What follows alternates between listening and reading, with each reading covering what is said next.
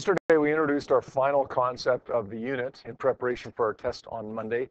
That concept was conservation of energy, the law of conservation of mechanical energy. And it basically said that energy can't be created or it can't be destroyed.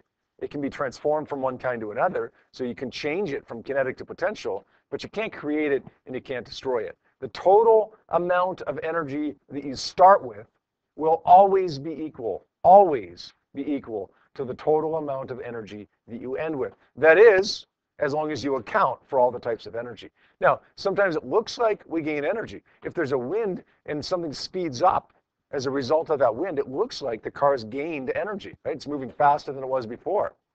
But it didn't really gain energy. I mean, the car did, but the system didn't. The total amount of energy remained the same. If we accounted for the wind, the kinetic energy in the wind, and the kinetic energy in the car, the total amount of energy would have remained the same there. Sometimes it looks like we lose energy. Maybe a car slows down because of a wind or because of the braking system. Well, we haven't destroyed energy, we've just converted it to another form, typically in the form of thermal energy, maybe a little bit of sound energy in there as well. So the total amount of energy, if we account for everything, will remain the same. And that means the initial energy will equal the final energy if we account for everything.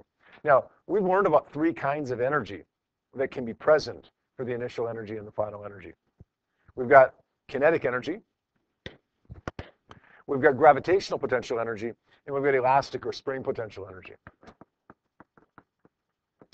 Whenever you're solving one of these problems, there is uh, three questions you've got to ask yourself for both the initial and the final energy. So you get over here, you're looking at EI, ask yourself three questions. Okay, one of those three questions is what, Atlanta? Is there a height? Okay. If there's a height, okay, what's the significance of that, Atlanta, if there's a height? What does it mean if there's a height? What kind of energy is present? Good, gravitational potential energy. So if there's a height, we're going to sub in MGH for EI. If there's not, then don't sub in MGH. Okay, what's the second question you ask yourself, Aiden? Good, is it moving? If it's moving, what do you do? Right, then you've got kinetic energy if it's moving. So we're going to sub in 1 half mv squared. What's the third question you ask yourself? Is there a spring or an elastic or something like a spring or elastic, bumper car bumpers, whatever, that's like a spring or an elastic that's compressed or stretched? If there is, Lewis, then what do you got? Good. Then we're going to sub in 1 half kx squared. It's very rare that you'd have all three types of energy for EI. It's possible, but it's very, very rare. Typically, it's going to be one of the three or two of the three, as opposed to all three of them. Basically, though, the general form of the equation would look like this. mgh plus 1 half mv squared plus 1 half kx squared. If you don't have elastic potential, then you'll just scratch that part of it out. If you don't have kinetic, then you'll just scratch that part of it out. So it's going to be one or more of these three types of energy in your initial energy. Now, your final energy, you're going to ask yourself the same three questions. So it could conceivably have all three types of energy as well. But in all likelihood, it's only going to be one or two of those types of energy. Maybe kinetic and gravitational potential. Maybe uh, elastic potential, just elastic potential. Maybe just kinetic. Maybe just gravitational potential. It's typically not going to be all three kinds of energy. All right we had uh, five questions on our worksheet. We've gone over a little bit of that already. What I want to do is, uh, is take a look at uh, a couple of those questions here. Okay, I'd like to take a look at, uh, actually, we'll take a look at three of them here. Take a look at three, four, and five on that worksheet. Number three, number three on your conservation of energy worksheet says a 2.5 kilogram rock is thrown, is dropped straight down. Okay, we changed it from thrown to dropped. Okay, it's dropped straight down from the top of a building. How fast is it moving when it's fallen 10 meters, and how much time has elapsed? We got our mass in question number three of 2.50 kilograms. Um, VI is zero because it starts at rest, right? It's dropped. VF is what we're looking for. How fast is it moving when it's fallen 10 meters? What else do we have there? What are we going to plug that 10 meters in as? What are we, what are we going to call that? Jacob? Sorry? let's call it the initial height, right? Now, has it fallen and hit the ground? We don't know. It's fallen 10 meters. Where's the ground? We're not told where the ground is. But remember with potential energy, we can define the ground as wherever we want. So we're going to define the ground here. We're going to define the ground here as after it's fallen 10 meters, whether it's actually on the ground or not. We're okay as long as we define it uh, from the same place throughout the entire question.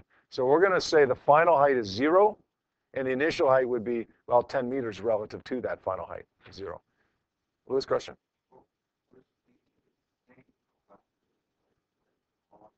Yep. No, no. Um, because that's a good question, Lewis, but it starts at this point, okay, at rest, falls down, falls down, falls down, falls down, okay, 10 meters down, 10 meters down, we're trying to find the speed, right? Well, that 10 meters is not where it started, sorry, where it ended. That 10 meters is where it started, right? Now, what you could do, Lewis, and this would be really, really odd, but what you could do is say the initial height was zero and the final height was negative 10, but that would be really odd to do. It would still work, give you the right answer, but it would be just an odd thing to do. Right? We start 10 meters above where we finish, so we're going to say HI is 10 meters and, and HF is zero. All right. Let's write down that next step. EI is equal to EF here. EI equals EF. Ask yourself those three questions. What's the first question? What's the first question? Is there any motion? Is it moving? Is it moving when it starts? No, there isn't. So there's no kinetic energy then, right? Lewis, what's the second question? Is there height? Is there height? Okay, so what does that mean if there's a height? Okay, so we plug in MGH. Good. MGH initial. Uh, what's the third question? Ellie, what's the third question? Yeah, and there's not, is there? There's not even a spring or an elastic in this question. So that's it. That's all we have for the initial energy. All right, ask yourself the same three questions for the final energy. Is there a height at the end? No. Is there a spring or an elastic that's stretched to compress? No. Is there a uh, is there motion at the end? Yeah, it's moving. We're trying to find the speed. So it's 1 half mvf squared. Shortcut here. Anybody spot it? What's the shortcut there? Alana? You can cancel out the masses. You don't have to. We got the mass here. We don't have to cancel it, but we can if we want. G is 9.81. The initial height is 10 meters.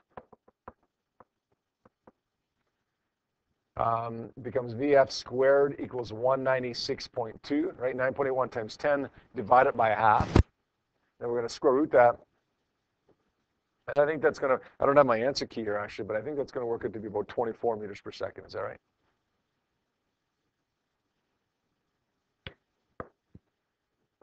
So we get 14.0, 14.0 meters per second. And we'd round that to three digits. So there we go. Good? Now, the second part of that question is asking for how much time has elapsed. We're not going to use conservation of energy to find the time because nowhere in the equations for conservation of energy does time appear. So we're going to have to do something else. What do you want to do? You got a bunch of options here, a bunch of them. You could say d is equal to VIT plus 1 half AT squared.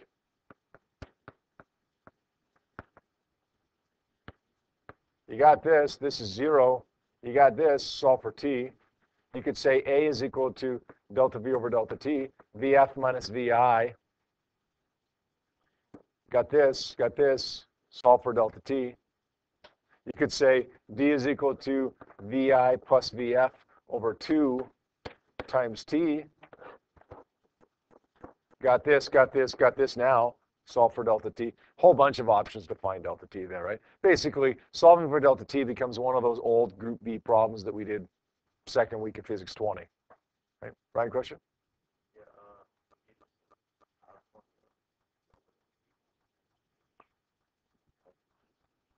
Yeah.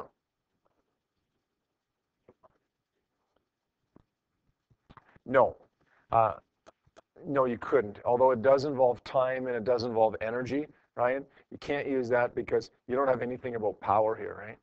So if you had the pow- a power and you had, you know, a, a work here, which I suppose you could make work with the whole MGH, MGHF minus zero or the other way around, then you could solve for time, but we don't know what, we don't know what power is, so.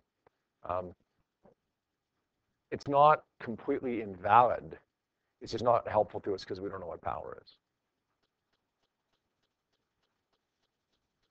All right, question number four just asks us to describe some conversions here. We're not really uh, asking, they're not asking us to solve for any numbers or anything here. A javelin is thrown at a speed of 20 meters per second at an angle of 30 degrees. A short time, la time later, the javelin comes back down and sticks into the ground. What are the energy conversions that take place? Aiden, question? Okay, question about the last one, quick. How long did it take? I'm not sure what the number actually is there, Aiden. Does anybody have that? 2.03, anybody else? Is that what you have? Okay. How'd you do it, Aiden?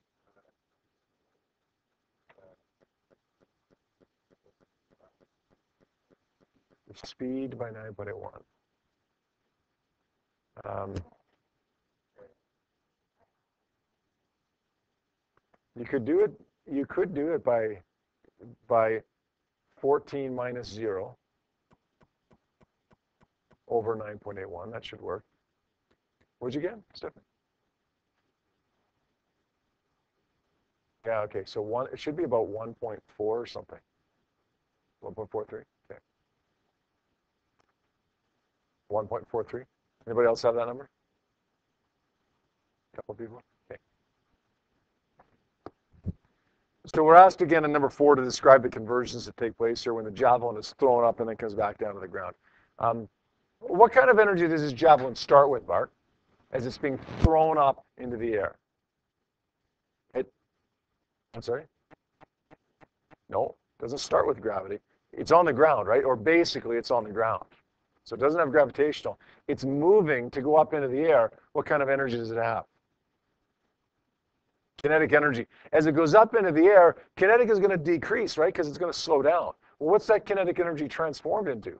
Got to be transformed into something because you can't destroy it. It's got to be changed into something, right? And what's it changed into? Good, gravitational potential energy. So as it goes up into the air, kinetic decreases, potential increases because kinetic is transformed into potential. And then it reaches its maximum height, and then it comes back down. And as it comes back down, your, your gravitational is converted back to kinetic energy. And when it reaches the ground, it's just kinetic energy. Right? That's it. That's all there is to that one. And finally, number five. Five says uh, a 0.75 kilogram ball is thrown straight up into the air. The ball reaches a max height of 17 meters before it comes back down. What was the initial speed of the ball? A mass 0.750 kilograms. Uh, max height of 17 meters. What do you want to call that? Yep. Uh, Haley just asked if the mass would ever matter in these questions.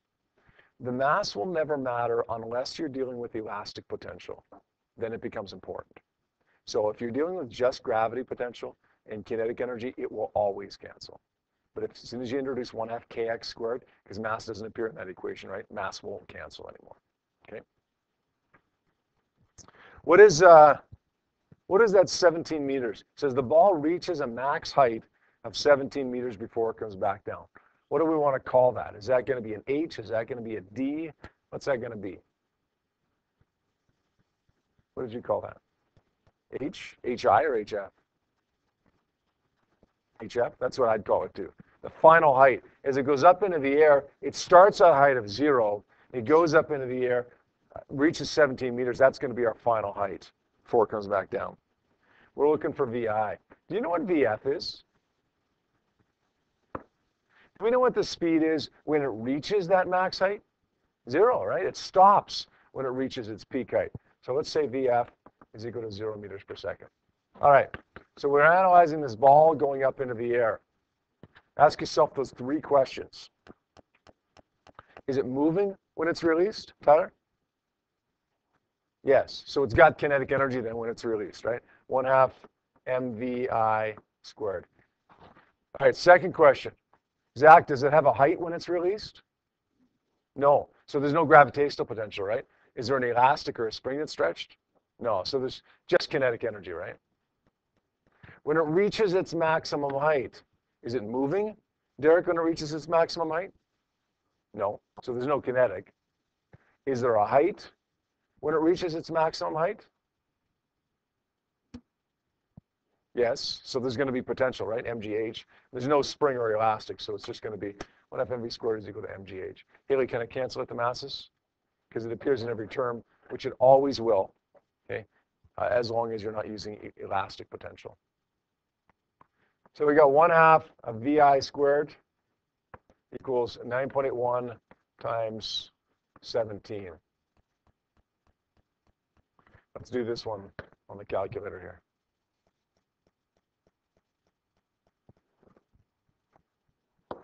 let's say 9.81 times 17, get the number on the right-hand side first. Then let's either divide by a half or multiply by 2. And then let's square root that. We end up getting 18.3 meters per second.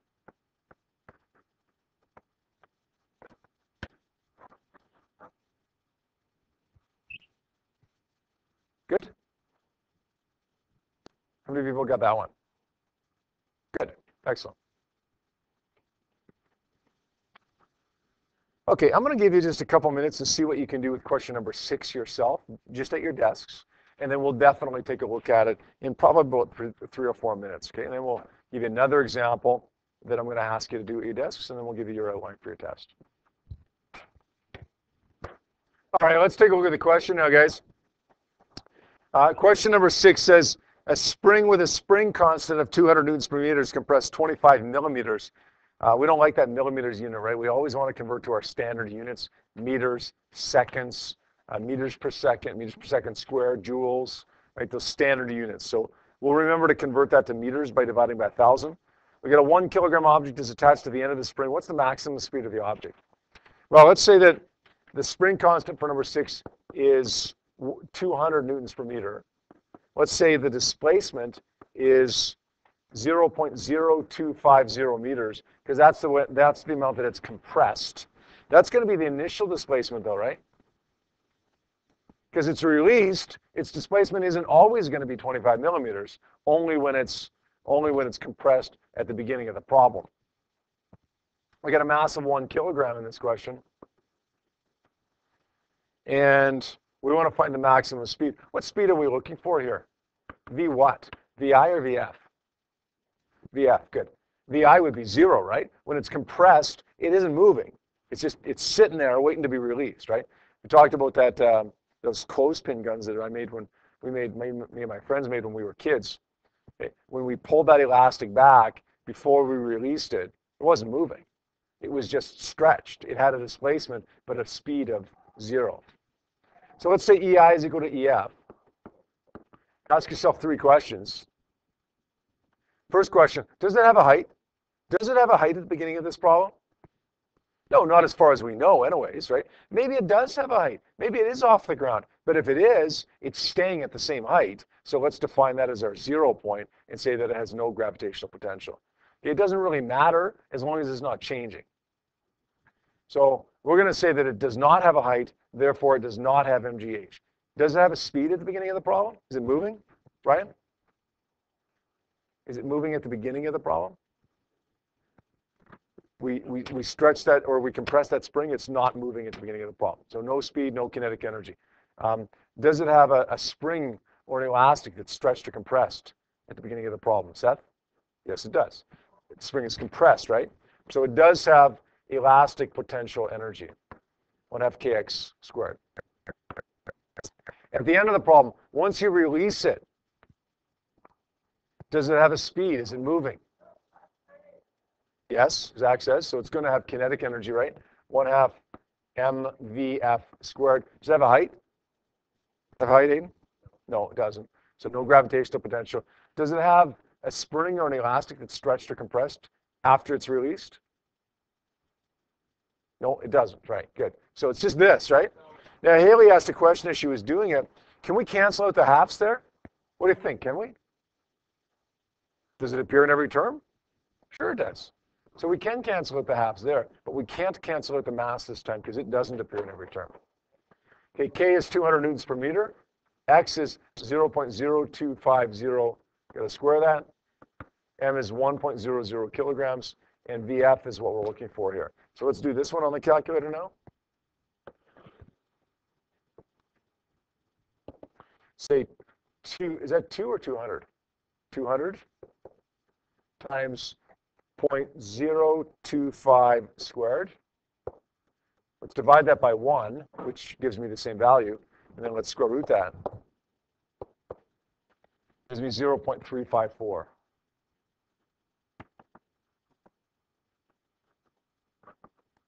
meters per second. Good? Easy questions. That was a little bit harder, hey, just because it was a little bit different. I got one final question for you here. Question looks like this. Here's a roller coaster. The roller coaster is right here moving at 5.0 meters per second. The height of the roller coaster is 40 meters. The height of this spot right here is 15 meters. And the height of this spot right here is uh, 25 meters. I want to find the speed of the roller coaster when it reaches that second hill. Speed of the roller coaster when it reaches that second hill. We can say EI is equal to EF, right? At the beginning of the problem, ask yourself three questions. Zane, is it moving? So it's got kinetic energy, right? Does it have a height? Bart, does it have a height at the beginning? Yes. So it's got gravitational potential. Is there a spring that's compressed or stretched? No. If there was, we just add in 1 half kx squared. Now, this is the tricky part right here, or at least it might seem tricky. EF. Where do I make that? Do I have to say, this is my final, solve for the, the speed here, and then go initial, final for the last part? Or can I just say, this is my final right here? If I just say, this is my final over here, then what if it didn't go to this 15 meters? What if it went to 20 meters? What if it went to 35 meters high? What if it went to 7.5 meters high? How would that change things? Would it have more speed? Okay, would it have more speed going down the hill? No. It doesn't matter what path it takes to get there, the speed will be exactly the same. Okay, let's think about that. It starts with a certain amount of kinetic energy right here and a certain amount of potential. It's, it's converted to all kinetic down here, and then it goes up to this height, goes up to this height, goes up to this height, the total amount of energy will still be the same as it was. Now, kinetic and potential will be differently distributed, but it'll still be the same total. Comes back down here and back up here, still the same total. So it doesn't matter what it did in the middle here. Doesn't matter. The initial energy is equal to the final energy. Now, the final energy is going to be what? Does it have a height at the end of the problem? Stephanie, question? I'm sorry. Uh, where did you get five? Oh, I see. Ooh, couldn't it just be, a good question, couldn't it just be five meters per second at the end of the problem? Wouldn't be five, no, because it's gone downhill, right? Doesn't matter how it got to this point. Bottom line is it's 15 meters below where it started. If it's 15 meters below where it started, it has less gravitational potential. If it has less potential, it has to have more kinetic. So it's got to be moving faster, right? The only time you could say it's going to be the exact same as what you started with is if it reached the same height again, 40 meters. If it's below that, it's going, it's going faster. If it went to 45 meters, it would be going slower. Let's just finish this off, guys, okay? The final energy is going to be kinetic because, of course, we've got a speed and we've got potential energy there as well. Masses cancel. Again, back to those problems where the masses cancel. We're going to say 1 half of 5 squared plus 9.81 times 40